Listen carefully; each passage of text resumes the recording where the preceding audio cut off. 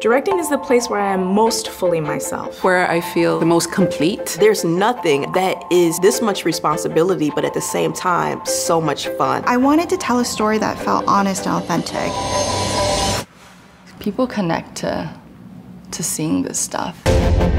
You can create a whole world that never really existed. My work as a director is vibrant, visceral, dynamic, muscular, life affirming. How often can you make a movie with your community, a community that's in pain and needed to do something nice and something fun for themselves? Part of my goal is to help subvert the idea of what it means to be black and magical thriller, mystery, heist. These are places where we can really make audiences feel. Stories about women and what it means to be Asian American and queer, and I really want to protect the dignity and the integrity of those characters. It's heartwarming, it's emotional, and at the end, I wanted audiences to feel like they got a big hug. Love and heartbreak, making mistakes, feeling lonely, feeling othered, but expanding that into something that can feel special or remarkable. I think it's my job to help the actor find their way into the character, into the story. Real grounded stories that seem to have thriller stakes to make what's really personal to me